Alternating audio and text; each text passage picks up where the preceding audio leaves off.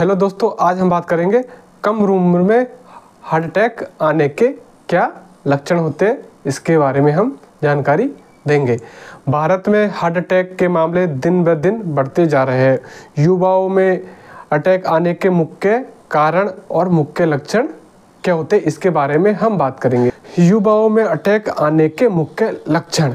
युवाओं में स्टाइलिश, खाना रहन सहन और जीवन शैली स्ट्रेस सही से प्रॉपर से नींद नहीं आना और खान पान की गलत आदत, जैसे कि स्मोकिंग करना ड्रिंक करना इलेक्ट्रॉनिक उपकरणों का ज़्यादा उपयोग करना, जैसे मोबाइल का ज़्यादा यूज़ करना कंप्यूटर का ज़्यादा यूज़ करना देर देर रात तक मोबाइलों का यूज़ करना, देर रात तक कंप्यूटर पर वर्क करना, इन पर देर रात पर काम करने लीवर पर असर पड़ता है और हार्ट पर असर पड़ता है और पर्यावरण प्रदूषण का अधिक बढ़ जाना। यह युवाओं में, यह युवाओं में अटैक आने के मुख्य लक्षण है दोस्तों।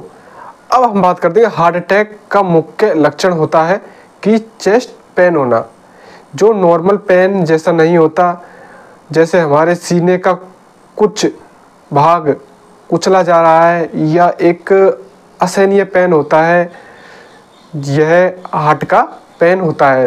दोस्तों, जब दिल तक खून की आपूर्ति नहीं हो पाती, यह दिल का दौरा पड़ता है। जब अपने हार्ट को प्रॉपर ब्लड सर्कुलेशन नहीं पहुँच पाता तो हार्ट हार्ट अटैक आने की संभावना अधिक बन जाती है। आमतौर पर हमारी धमनियों के रास्ते में किसी तरह की रुकावट आने की वजह से जो खून दिल तक नहीं पहुँचता है, इसीलिए सीने में तेज़ दर्द होता है।